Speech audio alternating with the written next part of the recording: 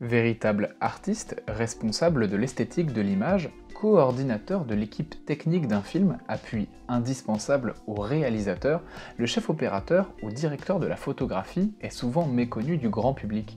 Nous avons eu la chance d'interviewer Jean-Marie Drejoux lors du festival Chef opérateur de Chalon-sur-Saône, une occasion de mettre en lumière ceux qui la font.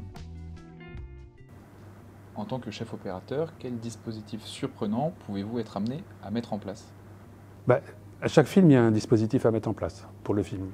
Il n'y a pas de film qui se ressemble. Enfin, moi, dans, tous les films que j'ai faits, à chaque fois, il y a quelque chose à mettre en place de spécifique. Euh, le dernier que j'ai fait euh, était vraiment, vraiment très technique, ça, comme film, c'était Notre-Dame brûle, le film de Jean-Jacques Hano qui parle de l'incendie de, Notre-Dame. Donc ça, pour le coup, c'était vraiment un film technique, parce qu'il fallait qu'on raccorde plusieurs endroits euh, en fonction de... puisqu'on ne pouvait pas tourner dans Notre-Dame, dans Notre-Dame. donc il fallait être. Euh, voilà, on a, tourné dans plusieurs endroits pour reconstituer cette cathédrale. Et puis il y avait la problématique du feu qu'il fallait gérer. Bah, le feu, le problème, c'est qu'on ne peut pas vraiment aller beaucoup dedans. Donc euh, Jean-Jacques, il voulait être très réaliste sur, euh, sur cet incendie. Donc il voulait vraiment qu'on ait l'impression d'être dans le milieu du feu, donner, montrer les images que les gens n'avaient pas vues. En plus, Jean-Jacques aime beaucoup faire toutes les choses en direct. Hein. donc il rajoute très peu d'effets en plus. Alors, des fois un petit peu, mais il aime bien avoir tout, faire sur le plateau.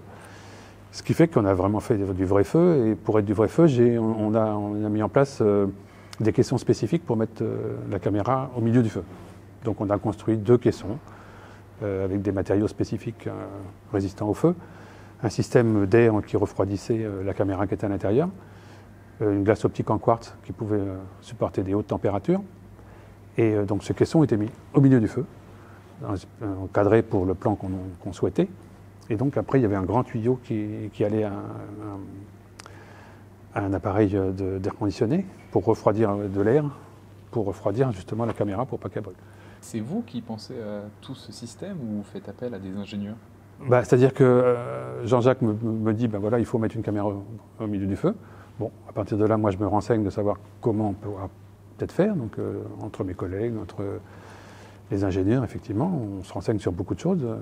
On passe aussi par les pompiers qui ont l'habitude de ce genre de choses. Principalement, c'est toute l'équipe des effets spéciaux qui faisait les, effets mécaniques sur le film, donc tous ceux qui s'occupaient du feu, etc., qui m'ont construit ce caisson-là et qui ont conçu le, tuyau, l'air conditionné euh, et tout ça. Avec tout ce travail de préparation, peut-il rester une place à l'improvisation? L'improvisation, oui, des fois, bien sûr.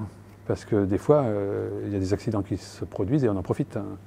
Donc, mais en préparation, on met tout en place pour, euh, pour que si on a un accident euh, bien heureux, on va dire, il puisse rentrer dans la case. Justement, avez-vous un exemple d'accident bien heureux? Quand j'ai tourné le film d'Alejandro Jodorowsky, euh, La danse de la réalité, la fin du film était écrite pour se passer. il partait sur un bateau et il partait sur un bateau et il partait nulle part. Il fallait pas qu'on voit où il parte, ça devait être brouillé et tout. Donc quand on voit ça écrit, on se dit bon, flûte, comment mettre ça en, en place pour que ça, pour qu'on ait vraiment l'image que, le, que les metteurs en scène souhaitent.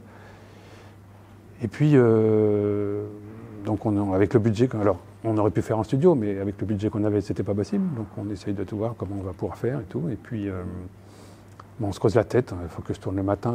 Je vais essayer de brouiller un petit peu. Puis après, peut-être qu'en post-prod, je pourrais peut-être arranger les choses. Bon, bref, mais c'était pas très satisfaisant.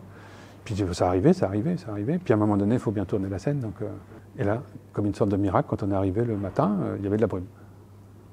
Donc on a vite euh, tout mis en place, mais bon, c'était quand même compliqué à mettre en place, puisqu'il fallait mettre une famille sur un bateau, il fallait peindre un, homme en squelette, enfin bon, ben, il y avait quand même un peu de préparation, mais tout ça a été très vite.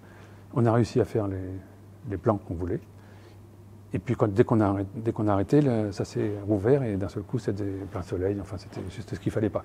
Donc voilà, ça c'est un exemple où d'un seul coup, euh, on profite on profite d'une météo adéquate. Alors on essayait de la mettre en place hein, en se disant bon, on va tourner le matin dans telle côte, peut-être qu'il y aura, mais là c'était voilà. Donc des fois on a des sortes de miracles comme ça. Une bénédiction. Je sais pas, mais mais bon, ça arrive.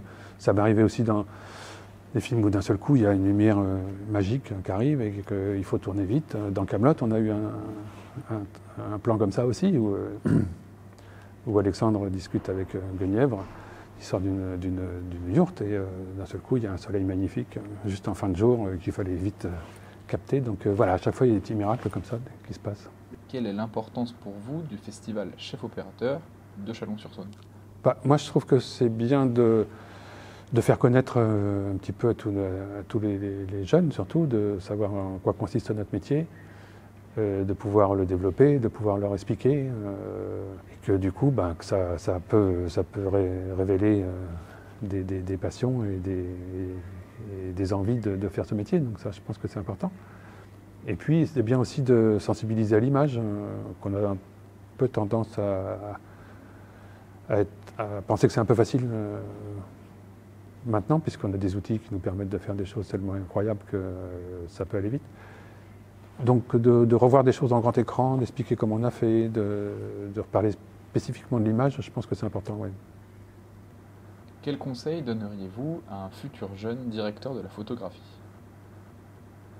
Ah ben, Maintenant, il y, a tellement d'outils pour, euh, pour, euh, pour, mettre en valeur euh, ce qu'on a intérieurement que c'est un grand moment pour eux.